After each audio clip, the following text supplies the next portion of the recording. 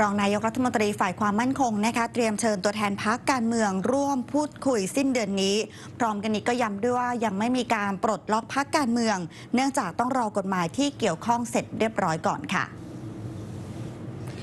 พลเอกประวิตยวงสุวรรณรองนายกรัฐมนตรีและรัฐมนตรีว่าการกระทรวงกลาโหม เปิดเผยว่าในช่วงสิ้นเดือนนี้จะเชิญทุกพักการเมืองมาหารือ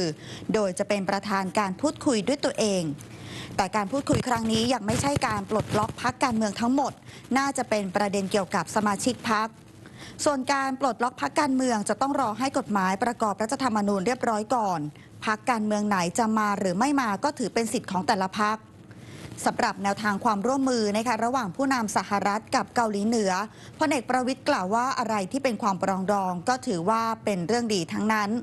ทางนี้ขอทุกฝ่ายต้องเริ่มกันนะคะต้องเริ่มให้เกิดความปรองดองภายในประเทศ ส่วนการจัดการประชุมคณะรัฐมนตรีสัญจรครั้งต่อไปในพื้นที่ภาคใต้พลเอกประวิทย์ย้ำว่า รัฐบาลจัดประชุมคณะรัฐมนตรีนอกสถานที่ทุกภาค ไม่ใช่จะเอื้อประโยชน์หรือว่าเอาใจภาคหนึ่งภาคใด นายกรัฐมนตรีจะลงไปดูแลประชาชน และอนุมัติงบประมาณให้ทุกภาคอย่างเท่าเทียมกัน